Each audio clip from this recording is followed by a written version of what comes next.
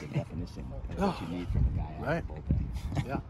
Um, back up just a little bit, Garrett. Just what we needed was after the tough loss, what you think is to be an untaxing bullpen night to a taxing bullpen night.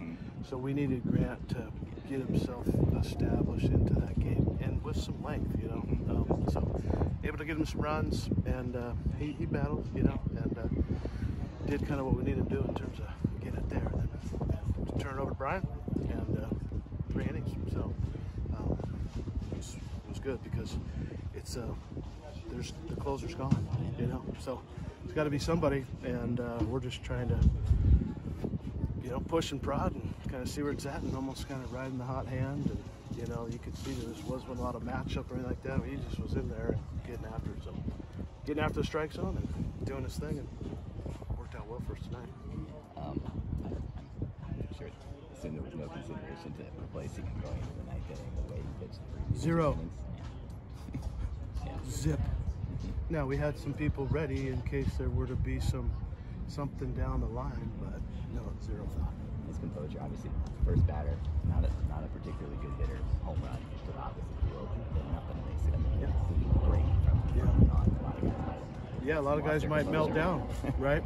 And you know, uh, he just keeps getting better. He's older now, you know, maybe last year or what have you, but. Uh, What's the biggest change? I mean, he only pitched one and two thirds innings. Yeah, I know. Just um, trust in us. You know, I mean, we trust in him because of what he does. You, you saw his ability, and I, I just think both him and Knepple are kind of on the come a little bit, and it gives us some nice uh, left-handed deals that way. So we're gonna need that, and then um, you know, getting a little, we're getting Tate going too a little bit, so uh, he could be a factor down the stretch. But nice to just have a kind of two, three-headed left-handed monster sitting out there in the pen. And you mentioned Siegel. He didn't have his best stuff today, but like, they kept ending up with a guy on third base at the end of each Yeah. inning. He battled. Yep. And uh, to me, that's the sign of a competitive pitcher. You know, it's just the ability to go out there maybe with your B, B minus game or whatever grade you want to put on it, but uh, you know, still battle and uh, keep a really good offense at bay. You know, so um, it's good to have him back, and especially when uh, the feelings that you get when when he was out, we had to move Carmouche forward Mm-hmm. and he's kind of taken that and gone down. So we kind of got a one B in terms of a guy that's been in that Friday night deal, right, and, and done it and been able to. So Saturday gives us a little bit of good feelings that way. So he keeps coming. That's two uh, pretty good outings off of a missed start. So uh, we'll need another one like those from youngster Massey tomorrow.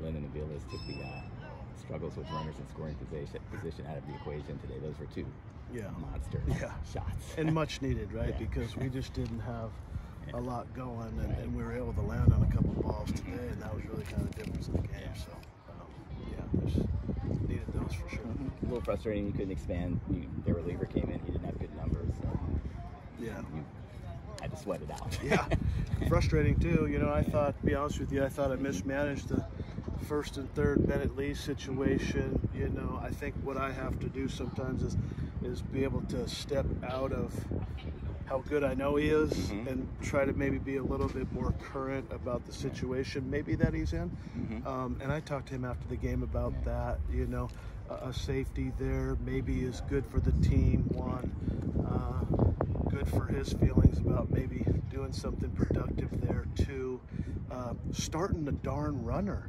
You know, um, trusting that you know, good, bad, or indifferent, he's going to put the ball in play and stay out of a double play and do some things like that to help him and the team. So, um, you know, I, I, I don't think I did a very good job managing in that situation. But again, I'm just kind of um, talked about it yet this morning in the cage during BP. It's like, you know, I'd give you that at bat in the bases loaded with one out 100 times out of 100, you know. So here we kind of were not bases loaded, but first and third, and here it was again, and there it was again. And so my thing was kind of like me trying to prove to him that, you know, I trust you, you're good, you know you're good, and take advantage of the situation. And um, he, he, he'll he'll uh, he'll deliver more than not. He's a rock star of a kid, man.